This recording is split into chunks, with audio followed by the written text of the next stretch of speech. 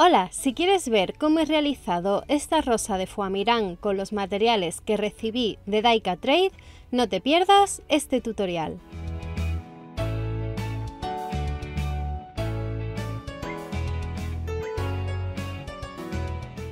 Para realizar esta flor voy a utilizar la Sidekick, que es una Big Shot pequeñita, y estos dos troqueles florales. Como base voy a usar este Fuamirán de Daika Trade de color rosa claro. Voy a cortar una tira de Fuamirán del mismo ancho que la placa, para que no me sobre demasiado. Luego lo corto también al largo de la placa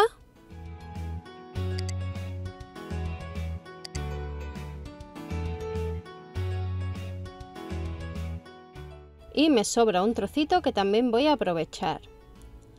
Necesito sacar dos flores pequeñas y tres grandes. Como podéis observar, el fuamirán se ha cortado súper bien con este troquel finito.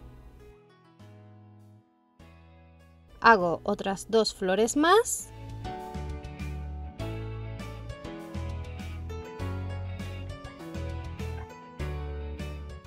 Y por último hago una flor grande más.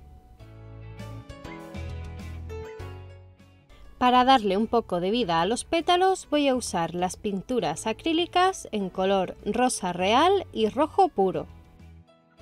Cojo uno de los pinceles de Starcir de Daika Trade y cojo un poco de pintura.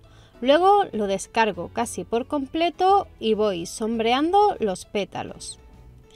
En los más pequeños voy a mezclar un poco de color rojo puro con rosa real para crear un rosa más oscuro. De esta forma, la flor será un poco más oscura en el centro que en la parte exterior. Doblo la flor de forma que queden todos los pétalos juntos y pinto también el borde del foamirán.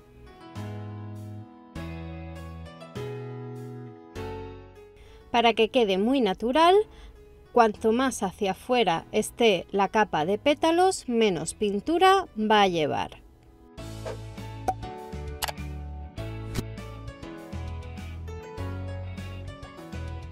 Y la capa que será la exterior del todo, prácticamente solo va a llevar el sombreado del borde.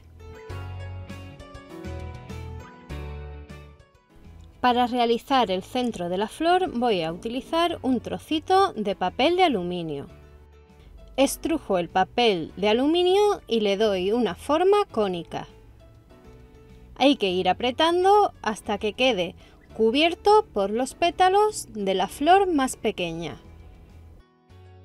Corto un trozo de alambre de aluminio bastante finito y con un punzón agujereo la base del aluminio. Le doy unas vueltas para asegurarlo y corto lo que sobra. A continuación cubro todo el alambre con cinta floral.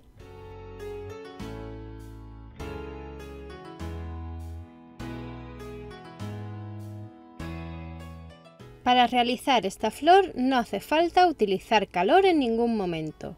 Simplemente se dobla poniendo todos los pétalos juntos y se hace un rollito y se va presionando con las manos y con el propio calor de los dedos va a quedar bien arrugadita. Esto romperá la textura del foamirán y dejarán de estar tan rígidas y se verá mucho más natural. Haré lo mismo con las cinco capas de pétalos.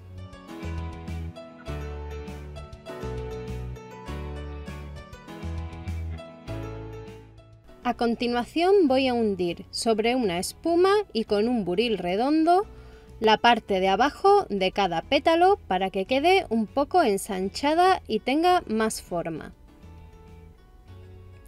Si no tienes un buril de este tamaño, simplemente puedes presionar con los dedos teniendo cuidado de no romperlo.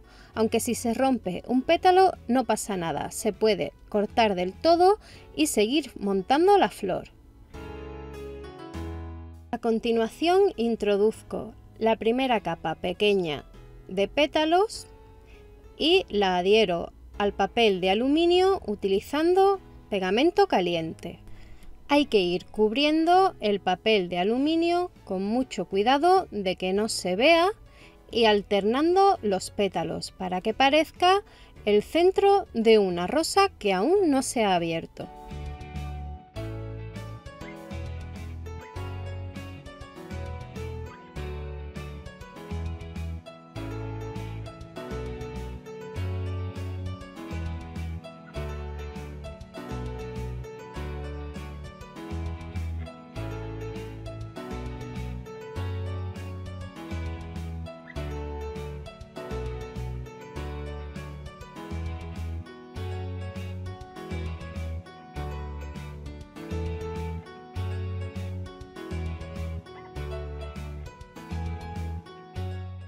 Una vez que esté listo, el centro de la flor se añade una nueva capa de pétalos y se adhiere primero con una gotita de pegamento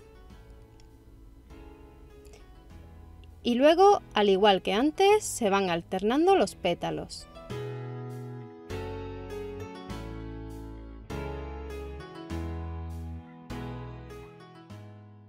En esta segunda capa hay que pegar los pétalos más o menos hasta la mitad para que quede bien cerradita y las siguientes capas hay que ir pegándolas cada vez menos hasta que la última solo se eche un poco de pegamento en la base.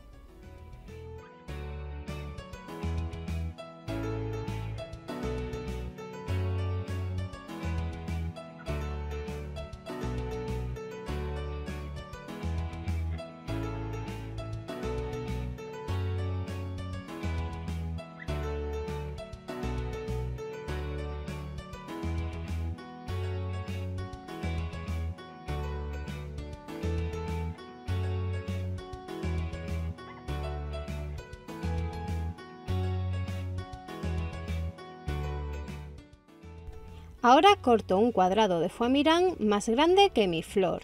Lo doblo primero por la mitad y luego de nuevo por la mitad. Y le doy forma de hoja dejándolo unido por el centro. Para que se vea mucho mejor voy a hacer un sombreado con este color de verde que se llama bosque y lo haré del mismo modo que hice el sombreado en los pétalos, cogiendo solo un poquito de pintura y aplicándolo con este pincel de estarcir redondito de Daika.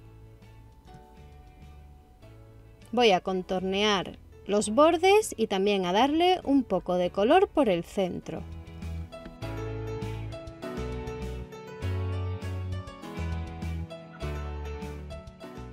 Una vez seca la pintura acrílica, doy unos cortecitos con una tijera de precisión para que la hoja se vea más realista.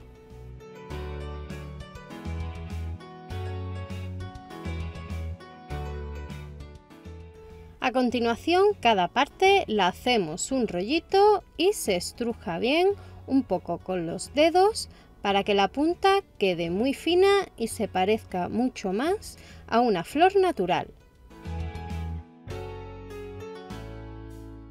Con un punzón le hago un agujero en el centro y paso el alambre de la flor y finalmente lo adhiero con un poquito de pegamento. Y lo voy a pegar de forma que se vea lo más natural posible.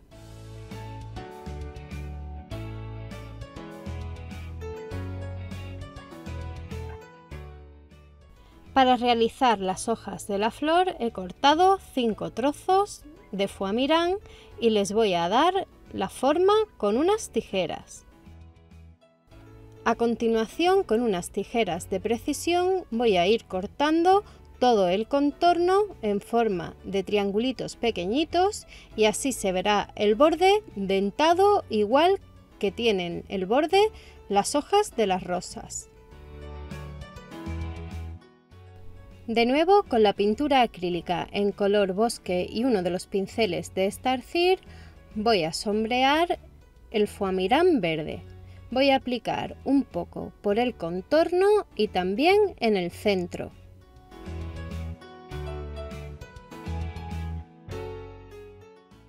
Una vez listo el paso anterior, corto 5 trozos de alambre de aluminio y los forro con cinta floral.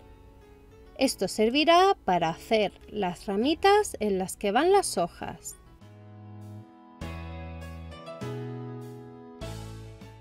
A las dos que son las principales les voy a dejar un trozo sin pegar para poder añadir los trozos más pequeños después.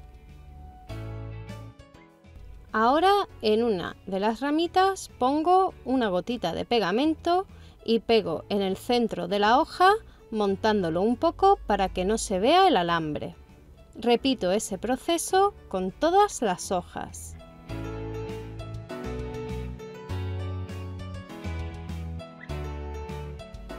Les doy un poco de forma con los dedos y cuando ya tenga listas tres de las hojas las monto uniéndolas con la cinta que había dejado sin pegar.